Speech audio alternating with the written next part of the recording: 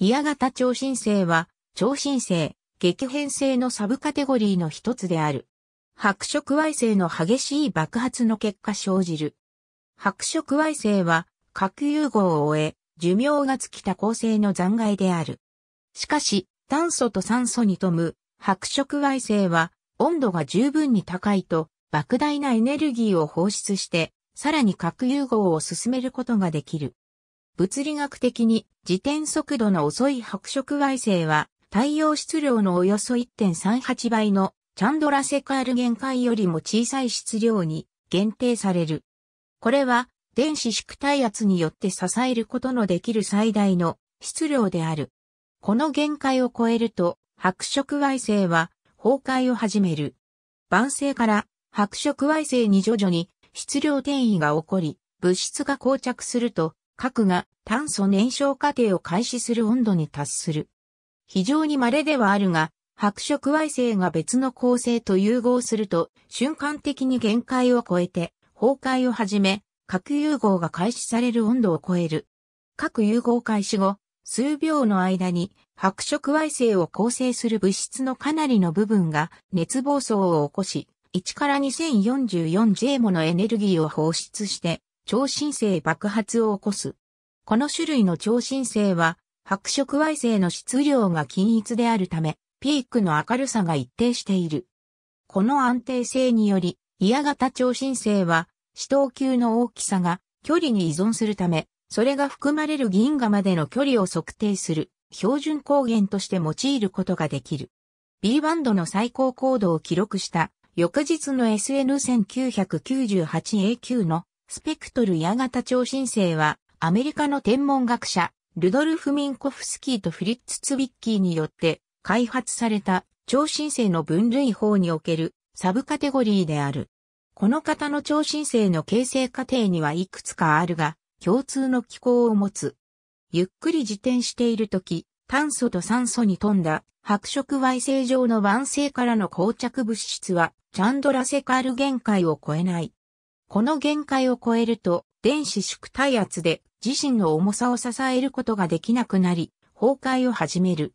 総裁がなければ、白色矮星は崩壊して中性死母子となる。主にマグネシウム、ネオン、酸素から構成される白色矮星の場合は、この過程をたどるのが普通である。しかし、現在の天文学者は、実際にはこの限界には達せず、崩壊は始まらないと考えている。その代わり、質量の増加による圧力と密度の増加が、核の温度を上昇させ、限界まで約1%に至ると、対流が生じ、約1000年間続く。この爆発寸前の段階のいくつかの点で、炭素燃焼過程のエネルギーによる爆発全面が生まれる。点火の詳細はまだ分かっていない。その直後に酸素燃焼過程が開始するが、酸素は炭素ほど完全には消費されない。核融合が始まると白色矮星の温度は上昇し始める。熱圧力によって支えられる主系列性は拡張し、熱エネルギーの増加と釣り合って冷える。しかし、縮体圧は温度に依存しないため、白色矮星は燃焼過程を制御することができず、暴走核融合反応が起こりやすくなる。炎は、レイリー・テーラー不安定性や乱流との相互作用によって加速する。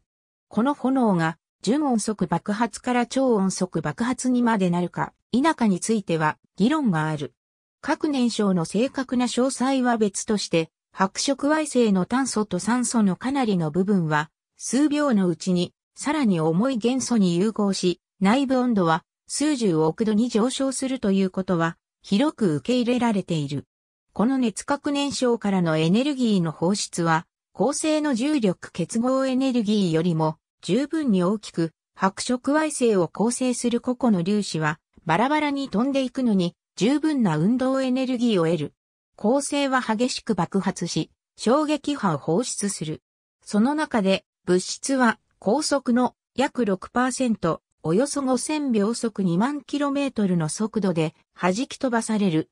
爆発で放出されたエネルギーも高度の急激な増大の一因となる。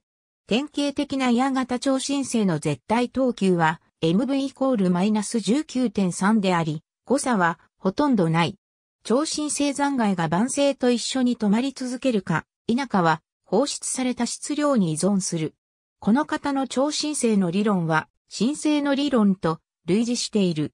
新星では、白色矮星への物質の膠着は、よりゆっくりで、チャンドラセカール限界までは達しない。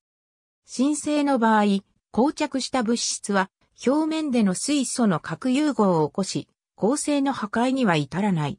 この方の超新星は、重い恒星の表層が激しく爆発する、通型超新星とは異なる。形成過程巨星からガスが引き剥がされ、晩星の膠着円盤を形成する。この方の超新星の形成モデルの一つは、近接した連星系である。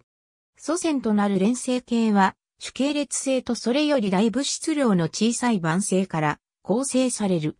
質量が大きいため、主星が先に全近巨星分子に進化し、この段階では、構成の外装が大きく肥大化する。二つの構成が外装を共有した場合、K は多くの質量を失い、核モーメント、軌道半径、軌道周期を減少させる。主星が白色矮星に縮体した後、晩星は赤色巨星に進化し、主星に質量転移を始める。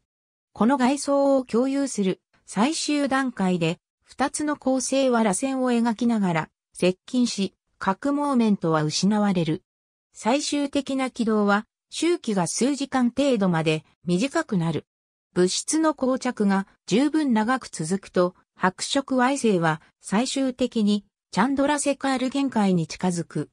可能性はより小さいが、二つ目の可能性として、イヤ型超新星となるきっかけは、二つの白色矮星が融合し、合計質量がチャンドラセカール限界を超えることが考えられる。このような場合、合計質量はチャンドラセカール限界に制約されない。これが超新星 SN2003FG の祖先の構成が太陽の2倍もの質量を持っていたことの説明の一つとなる。構成同士の衝突は、銀河系内で107の1013年に一度起きていると考えられているが、これは新星の出現よりもはるかに低頻度である。しかし、衝突は球状星団等の密度の高い核の領域では、より頻繁に起きると考えられる。あり得るのは、白色矮星を含む連星系内の、または連星系同士の衝突である。この衝突の結果、二つの白色矮星からなる接近した連星系が後にできる。これらの軌道は徐々に減衰し、共有する外装を通じて融合する。白色矮星は晩星として準巨星や主系列星からさえも質量転移を受けることができる。膠着の段階の正確な進化の過程はあまりわかっていないが、膠着の速さと白色矮星への核モーメントの転移によると考えられている。他の種類の超新星とは異なり、イヤ型超新星は楕円銀河を含むすべての種類の銀河で発生しうる。構成が主系列星の進化の最後に白色矮星になると当初形成された場所からさまようようになる。近接した連星の質量転移が始まって数百万年が経つとやがた超新星が生じる気が熟する。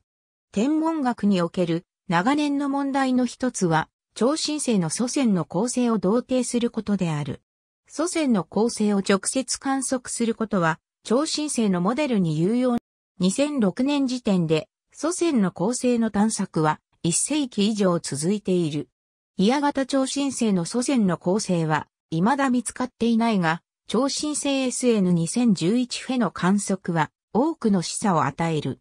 ハッブル宇宙望遠鏡を用いた以前の観測では爆発が起こった場所に晩星が存在したとしても太陽質量未満であるとされた。爆発に由来する膨張プラズマは炭素と酸素を含むことを示しており、祖先の構成は主にこれらの元素で構成される白色矮星の可能性が高いと思われた。縦軸に太陽と比較した高度横軸に時間をとってプロットすると、矢型超新星に特徴的な高度曲線が描ける。ピークは主にニッケルの崩壊により、その後はコバルトによる。矢型超新星は特徴的な高度曲線を持つ。最高高度の近傍では、スペクトルは酸素からカルシウムまでの中間程度の質量の元素の吸収線を含む。これらは構成の外装の主要構成成分である。爆発から数ヶ月経つと外装は膨張して透明になり、スペクトルは構成の核の物質や爆発で合成された重元素に由来するものが主となる。最も多い同位体は鉄の質量に近い。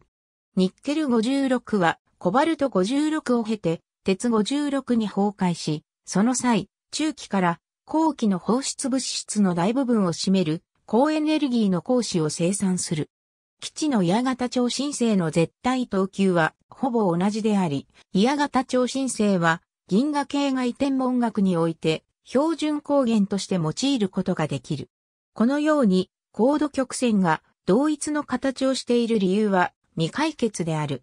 1998年、遠方の矢型超新星の観測により、宇宙は加速膨張を続けているという予期せぬ結果が示唆された。ありがとうございます。